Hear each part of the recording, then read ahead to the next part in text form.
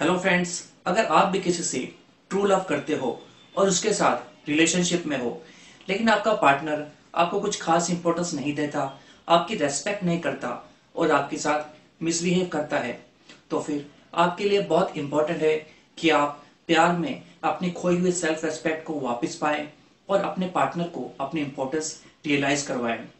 इस वीडियो में मैं आपको एक सिंपल सी ट्रिक बताने वाला हूँ, जो अगर आप आजमाते हो तो आपका पार्टनर आपकी इंपॉर्टेंस समझ जाएगा और आपको रेस्पेक्ट देने लगेगा। साथ ही साथ आपको यह भी पता चल जाएगा कि वो आपसे प्यार भी करता है या फिर नहीं करता। तो प्लीज़ इस वीडियो को एंड तक ज़रूर देखिएगा, क्योंकि अगर आप एंड तक नहीं देखोगे तो आप वीडियो के मेन पॉइंट से चूक जाओगे और कंफ्यूज होकर गलती कर बैठोगे। फ्रेंड्स आपको करना यह है नेक्स्ट टाइम जब आपका पार्टनर आपसे मिसबिहेव करे तब आपको कुछ टाइम के लिए उसकी लाइफ से दूर चले जाना है। दूर जाने से मतलब है, कुछ टाइम के लिए उससे कांटेक्ट खत्म कर देना है। ना तो उससे चैटिंग करनी है, ना फ़ोन पे बात करना है और ना ही उससे मिलना है। और वो आपसे कांटेक्ट करने की कोशिश भी करे, तब भी आपको उसका रिप्लाई नहीं देना है। एक तरीके से आपको ये शो करना है कि उसके बिहेवियर से परेशान होके आप उसकी लाइफ से चले गए हो। जब उसे महसूस होगा कि उसने आपको खो दिया है तब उसे घबराहट होगी, दर्द होगा, आपकी याद सताएगी। साथ ही साथ उसे ये भी याद आएगा कि कैसे उसने आपके साथ मिसबिहेव किया और हमेशा आपको अंडर एस्टिमेट किया।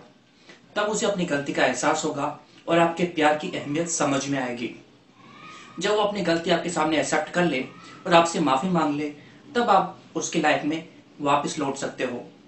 लेकिन प्रॉब्लम यह है कि ये ट्रिक तभी काम करेगी जब आपके पार्टनर के दिल में आपके लिए कुछ फीलिंग्स होगी, पर अगर उसके दिल में आपके लिए कोई फीलिंग नहीं है तो ना तो उसको आपकी याद सताएगी और ना ही वो अपनी गलती एक्सेप्ट करेगा।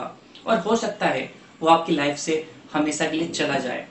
तब आप में इतनी हिम्मत होनी चाहिए कि आप उसे अपनी लाइफ से जाने दो और उसके सामने ना झुको। क्योंकि तब अगर आप उसके सामने झुक गए तो फिर आप हमेशा के लिए खुद को खो दोगे।